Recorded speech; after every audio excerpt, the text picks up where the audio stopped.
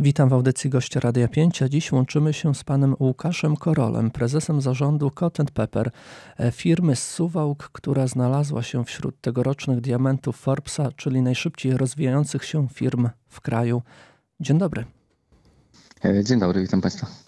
Z tej strony Artur Parafinowicz, witam słuchaczy.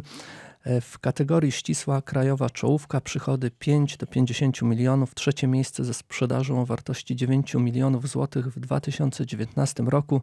Gratuluję i proszę kilka słów o Państwa firmie, bo chociaż Państwo są z Suwałk, to raczej bardziej znani za granicami Polski. Tak, tak, dziękuję, dziękuję bardzo. E, więc e, zacznijmy może od tego, że Golden Pepper jest firmą, która Y, tworzy oprogramowanie, y, oprogramowanie, które y, wykorzystywane jest przez nowo powstające biznesy w, w świecie finansów. I taką naszym głównym, naszymi, na główną powiedzmy segmentem naszych klientów są firmy właśnie przede wszystkim z zachodu Europy, które próbują wdrażać na, nowym, na tym rynku finansowym jakieś nowe rozwiązania oparte o technologię, no i my wtedy te technologie dla tych, y, dla tych, dla tych y, firm dostarczamy, budujemy tą część technologiczną tych, tych nowych produktów finansowych. E, to są oprogramowania, tak? Tak, tak. To są no, szeroko pojęte programy, aplikacje, e, czy aplikacje mobilne. No, to wszystko, co tylko jest potrzebne tak naprawdę, żeby, żeby, żeby zbudować taki nowoczesny, nowoczesny finansowy produkt oparty właśnie o, o jakieś rozwiązania właśnie takie internetowe, cyfrowe. To różnie to dzisiaj się nazywa. Dlaczego akurat siedziba w Suwałkach? Pewnie pan to pytanie słyszał wielokrotnie. E, państwa usługi nie wymagają stałego miejsca, pracownicy mogą być rozproszeni. Tak, tak. No, znaczy, no, my tutaj jako zarząd, że tak powiem, czy założyciele tej firmy po prostu pochodzimy z Suwałk, czyli z tego regionu i już od dobrych paru lat, a może parunastu nawet rozwijamy ten biznes tutaj. E, no ale w praktyce, jeżeli mówimy o, takim, o takiej skali rozwoju, jaką, jakiej teraz doświadczamy, no to w praktyce ona nie byłaby możliwa, gdybyśmy my w sumie nie działali, jeżeli chodzi o naszych pracowników, e, tak naprawdę w skali całego kraju. E, więc mimo tego, że spółka ma siedzibę w Suwałkach, to większość pracowników, współpracowników tak naprawdę pracuje na co dzień z, z bardzo różnych miejsc w Polsce może nie wypada o to pytać, ale nie ma pan pokusy, aby zarejestrować się w raju podatkowym? Nie wiem, Andora, Panama, Barbados? nie, to nie. To Suwałki chyba są też dobrym rajem podatkowym, więc y, nie, nie, nie, zupełnie to nie ma żadnego sensu. Dlaczego, y, czy właśnie park naukowo-technologiczny, czy to ma znaczenie, jeśli chodzi o lokalizację?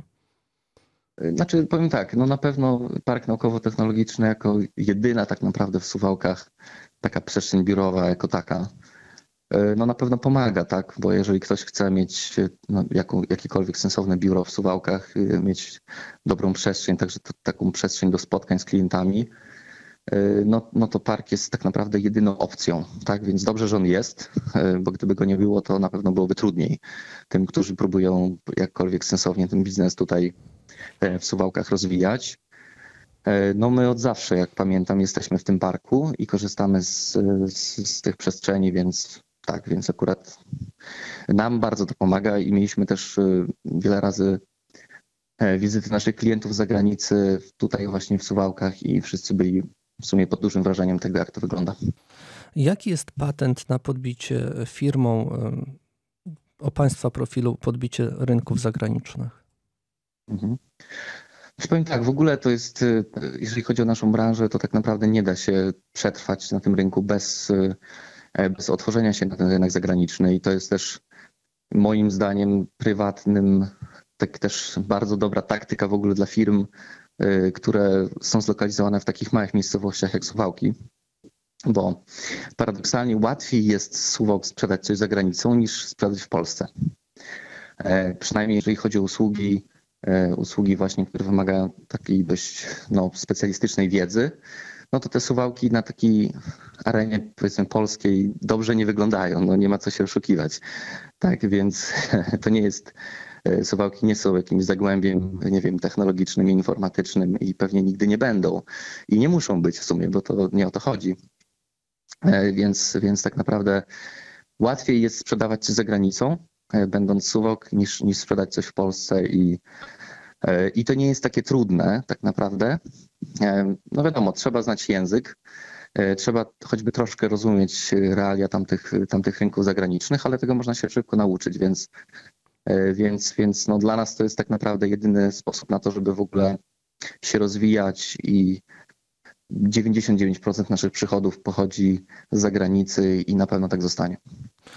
E, nazwa Suwałki w relacjach biznesowych e, podejrzewam pada e, wielokrotnie. Jaka jest reakcja Państwa klientów?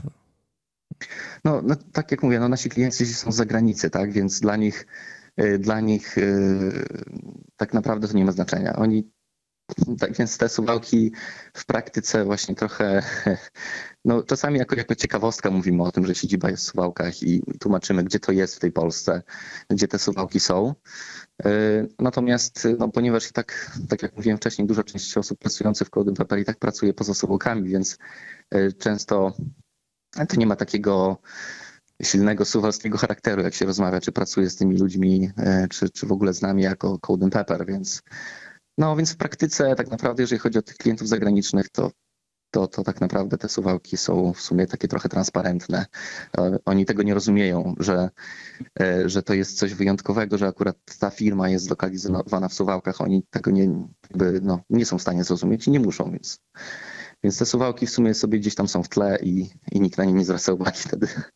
Trzecie miejsce na liście Forbesa w kraju y, to wielkie wyróżnienie, ale kiedy poczuliście Państwo wiatr w żaglach? Bo cztery lata temu już było Was głośno w kontekście zdemaskowania subiektywnych test raportu administracji, administracji Trumpa w kontekście praktyk handlowych.